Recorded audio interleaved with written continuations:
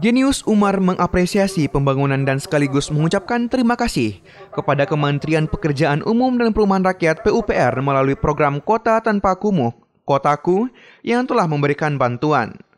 Pembangunan galeri merupakan bantuan Kementerian PUPR dengan program padat karya tunai.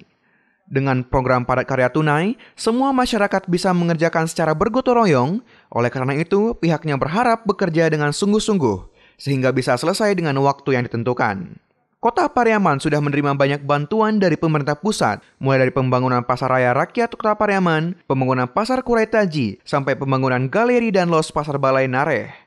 Terkait pembangunan galeri nanti bisa digunakan dengan memanjangkan hasil-hasil dari kerajinan desa Sungai Sirah, desa lain pun bisa memanfaatkannya, sehingga secara tidak langsung infrastruktur berhasil, perekonomian meningkat.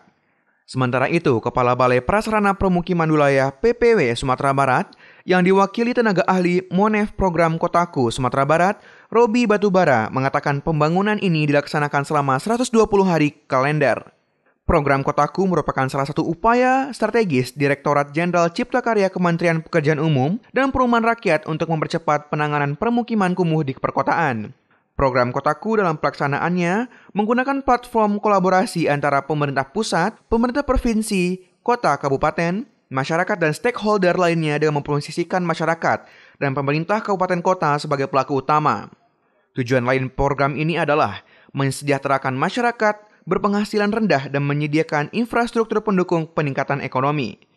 Pendirian galeri merupakan salah satu langkah untuk mensukseskan tujuan ini. Sehingga dengan adanya bangunan ini, hasil dari kerajinan masyarakat dipajang sekaligus dipromosikan dan bisa dilirik pembeli.